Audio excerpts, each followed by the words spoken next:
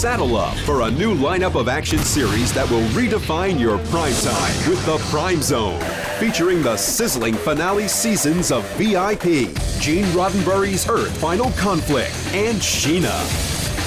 The return of Beastmaster, Pacific Blue.